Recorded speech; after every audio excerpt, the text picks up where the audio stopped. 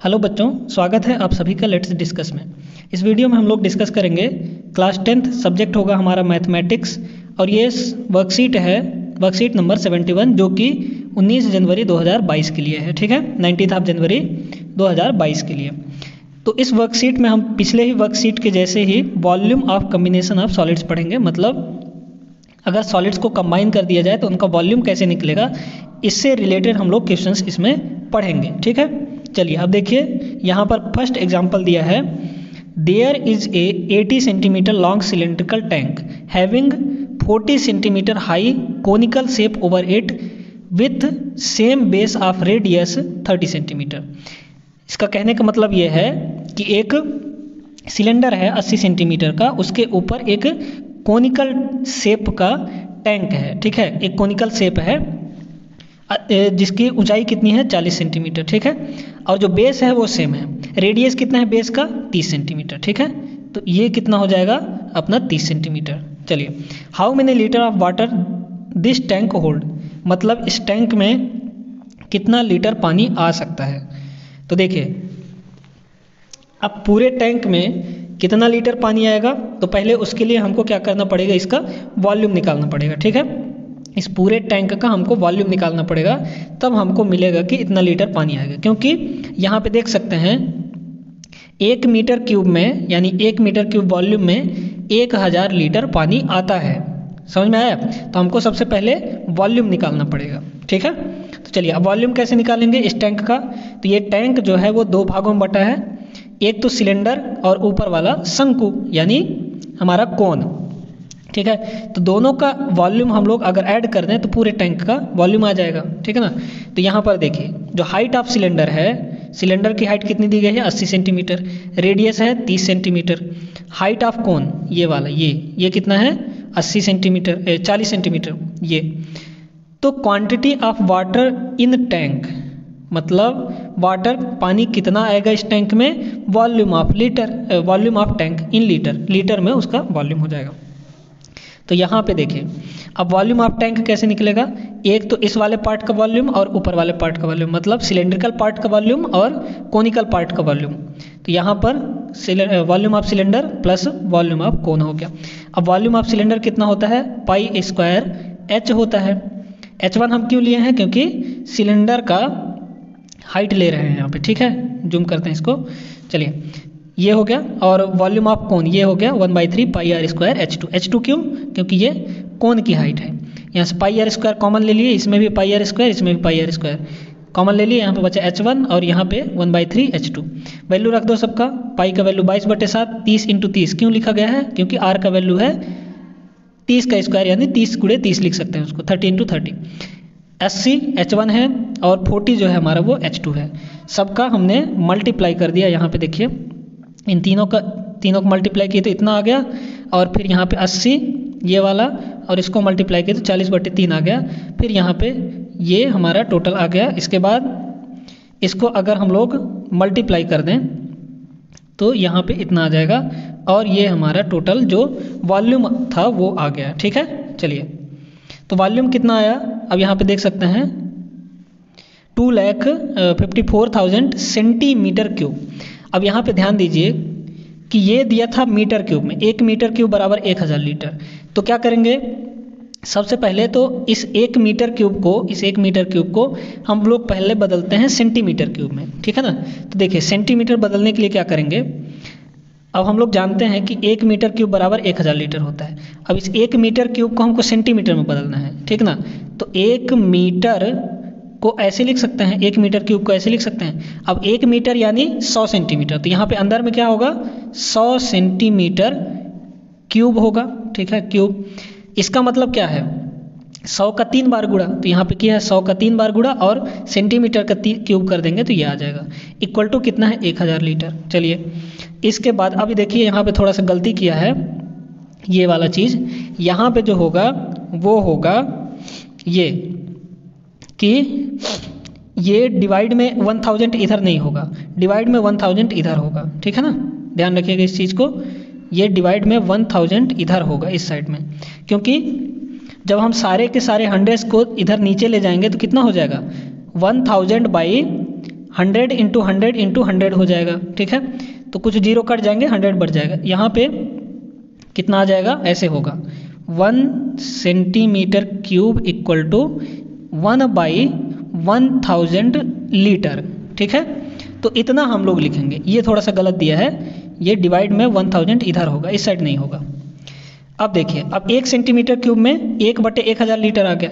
इसका मतलब इतने सेंटीमीटर क्यूब में, यहाँ पे जो दिया है, इतने सेंटीमीटर क्यूब में, इतने में कितना पानी आएगा? मल्टीप्लाई कर देंगे। तो वही हमने क्या किया?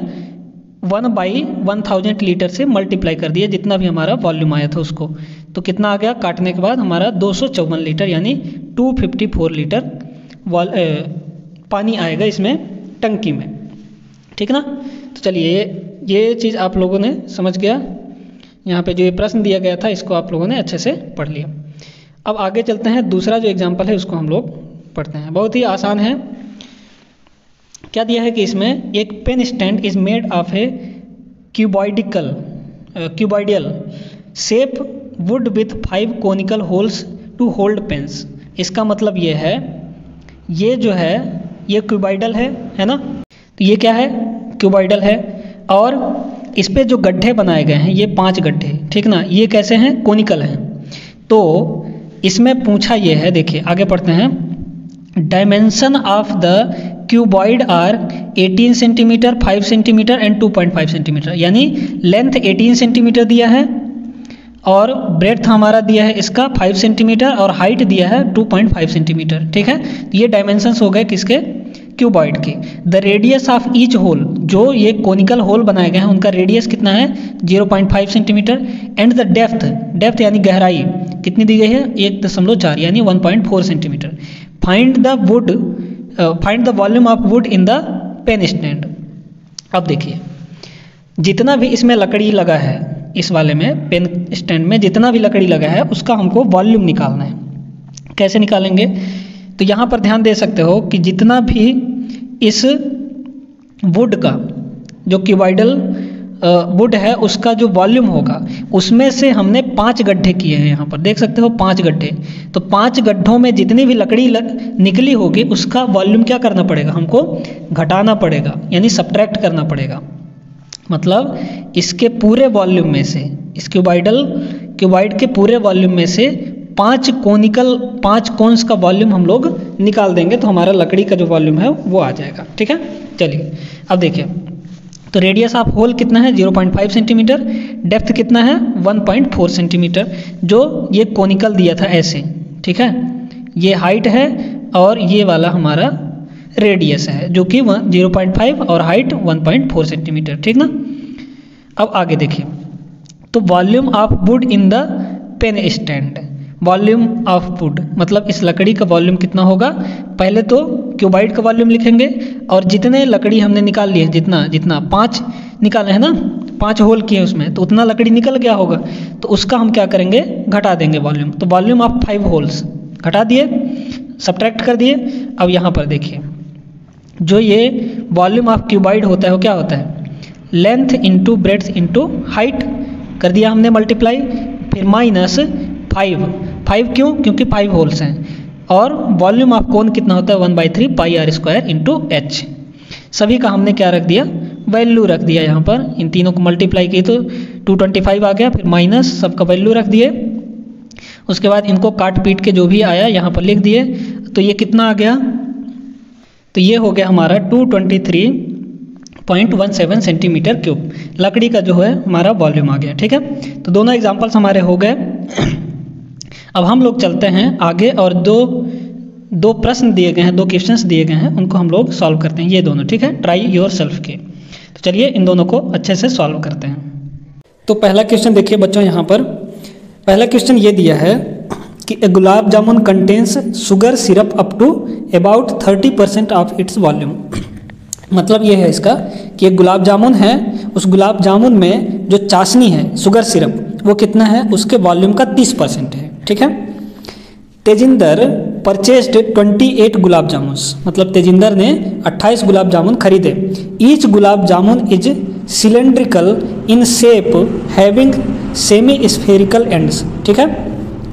जो गुलाब जामुन है वो कैसा है? सिलेंड्रिकल है और दोनों किनारे कैसे हैं? हेमी स्फेरिकल है।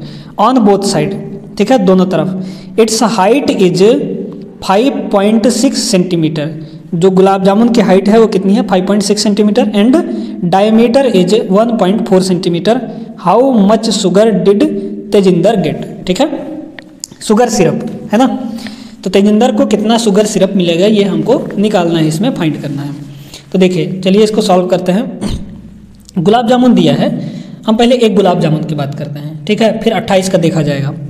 एक गुलाब जामुन है ये, उसकी जो हाइट है वो कितनी है? 5.6 सेंटीमीटर और जो डायमीटर दिया है वो 1.49 सेंटीमीटर दिया है 1.4 सेंटीमीटर तो उसका जो रेडियस हो जाएगा कितना हो जाएगा? आधा कर दिया इसको, है ना? 1.4 को आधा कर दिए तो 0.7 सेंटीमीटर आ गया। यानी सात बटे दस ज़ीरो पॉइंट सेवन को कैसे लिख सकते हैं? सात बटे दस लिख सकते हैं, ठीक है? चलिए, अब यहाँ पे रेडियस ऑफ़ हेमी स्फेयर ये हो गया, निकल आया, है ना? अब height of cylinder height of cylinder देखिए, जो ये होगा। हाइट ऑफ़ सिलेंडर यही होगा, है ना? सिलेंड्रिकल पार्ट का हाइट तो कैसे निकालेंगे अब इसको? तो जो ये टोटल है वो कितना है? 5.6 सेंटीमीटर यहाँ से लेकर यहाँ तक का डिस्टेंस और लेंथ ये कितना है? 0.7 और ये भी 0.7 तो 0.7 0.7 दोनों साइड से निकाल दिए तो ये वाला आ जाएगा। यानी 5.6 में हमने क्या किया? दोनों साइड से 0.7 माइनस कर दिया। तो कितना हो गया ये? 5.6 पॉइंट सिक्स, माइनस वन कितना आ गया? 4.2 सेंटीमीटर। इस 4.2 सेंटीमीटर को हम लोग लिख सकते हैं 42 टू बाई टेन सेंटीमीटर, ठीक है? ऐसा क्यों कर रहे हैं? क्योंकि आगे हमको ज़रूरत पड़ने वाला है। चलिए, अब आगे चलते हैं। अब देखिए, यहाँ पर जो वॉल्यूम होगा एक गुलाब जामुन का, कैसे होगा? इसका वॉल्यूम, यानी इस हेमिस्फेरिकल का वॉल्यूम और इस हेमिस्फेयर का वॉल्यूम, प्लस इसका वॉल्यूम, यानी ये जो सिलेंड्रिकल पार्ट दिया है उसका वॉल्यूम। तीनों के वॉल्यूम को क्या करेंगे? जोड़ देंगे तो हमारा गुलाब जामुन का वॉल्यूम आ जाएगा। तो वही लिखे हैं कि volume of one gulab jamun कितना हो जाएगा? यहाँ पर वॉल्यूम ऑफ़ सिलेंडर, यानी जो बीच वाला पार्ट दिया है, बेलन, बेलनाकार, cylindrical part, plus volume of two hemisphere जो किनारे किनारे दोनों हेमिस्फेयर दिया है ना, उनका दोनों का वॉल्यूम हो जाएगा। अब यहाँ पर देखिए। तो वॉल्यूम ऑफ़ सिलेंडर कितना होता है? Pi r square h plus हमने क्या किया? टू से मल्टीप्लाई किया क्योंकि दो हेमिस्फेयर है। इंटू एक हेमिस्फेयर का वॉल्यूम लिख दिए। Two by three pi r cube ठीक है? यहाँ से pi r square pi r square common है।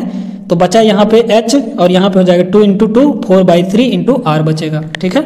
अब सभी का हमने वैल्यू रख दिया यहाँ पर। तो वैल्यू रखने के बाद देख लीजिए यहाँ पर।